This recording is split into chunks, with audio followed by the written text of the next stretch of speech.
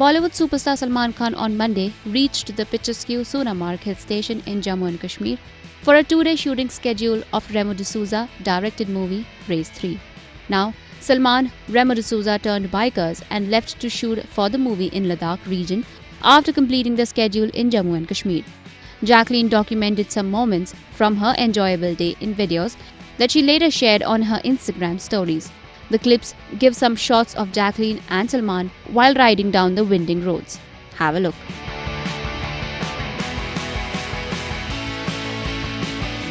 Earlier, Jacqueline shared a photo from Kashmir where Jacqueline is seen sipping a hot drink while Salman is looking somewhere else without his shirt. She captioned the photo, Too hot to handle.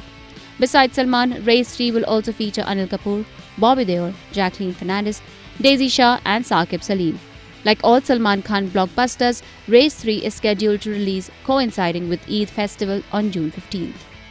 IANS report.